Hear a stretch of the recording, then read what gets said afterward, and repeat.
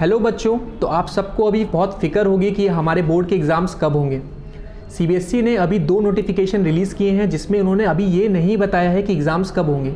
लेकिन जो पहला नोटिफिकेशन उन्होंने ट्वेंटी फ़र्स्ट नवंबर को रिलीज़ किया है, उसमें उन्होंने बोला है कि आपके एग्ज़ाम श्योर होंगे और डेट आगे अनाउंस करेंगे।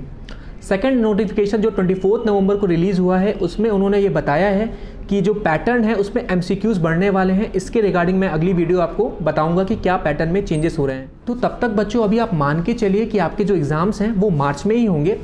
ऐसा भी हो सकता है क्योंकि कोविड 19 के केसेस दोबारा बढ़ रहे हैं तो कुछ स्टेट्स ने डिमांड किया है कि हम अभी एग्ज़ाम्स कंडक्ट नहीं करा सकते। तो हो सकता है कि आपके एग्ज़ाम्स कुछ दिनों के लिए और पोस्टपोन हो जाएँ, लेकिन अभी आप मान के चलिए कि आपके एग्ज़ाम्स होंगे।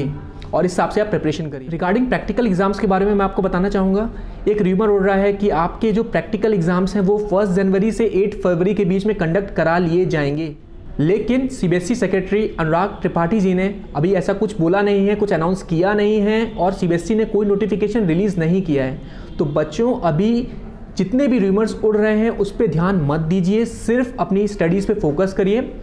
और जितने भी नोटिफिकेशन हैं एग्ज़ाम के रिगार्डिंग आपको इस चैनल पर मिल जाएँगे। Please subscribe this channel thank you very much